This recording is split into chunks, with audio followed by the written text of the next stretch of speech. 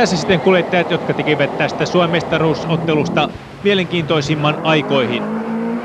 Vain 15 sekuntia oli Markus Grönholmilla aikaa enää tuhrata kaadon jälkeiseen huoltoon ja sen jälkeen hän olisi pudonnut kakkoseksi ja joutunut luovuttamaan Suomen mestaruusvaltikan tässä kausittelua Mikko Kalliomaalle, joka viidellä voitollaan olisi saanut silloin Suomen mestaruuden.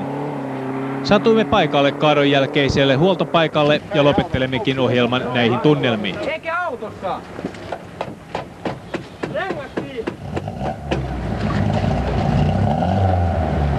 Ei vitusti käy. Ihan hyvin, ihan hyvin. Täällä on eikä renkaat. Mene se. Mene, mene, mene, tuo ihan jäitä. Mitä oikein on sattunut? Se heitettiin ihan loppumetreillä tuolla. Oot vaan ja katsotaan se Menikö paljon aikaa? Alle minuutti meni. Onko yhtään tietoa, miten Mikko tulee perässä? Ei Mikosta tietoa, mutta lähdetään meidän luokasta. Taisi mennä, mennä mestasmaassa. Johdettiin nyt luokkaan. Niin, sulla olisi riittänyt pelkkä luokkavoitus. Ei, kun kolmas siellä luokka. Selvä, tukkaa!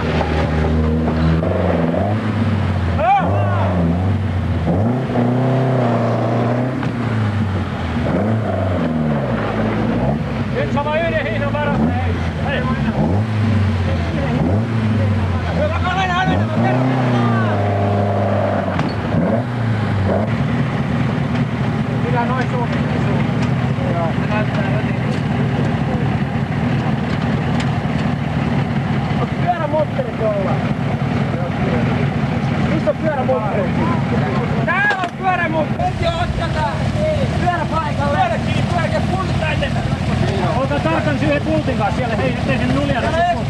Toivottavasti nyt kuljettaja pitää rauhan tuolla seuraavalla pätkällä, koska auto, joka on tuossa kunnossa, sillä ei ajamalla voida enää ottaa sijoja, vaan voidaan vain töppää. Et nyt kun todennäköisesti vielä Markuksella on aikaa, aikaa tuhlata semmoinen 20-25 sekuntia ehkä tuolla viimeisellä pätkällä, koska kolmas ja luokassa riittää, niin siinä olisi niin kuin vielä avain, avain, koska auto on huonossa kunnossa, sillä kuitenkin lyhyt erikoisko 25 sekuntia pitkä aikaa, kun ei vaan hosu.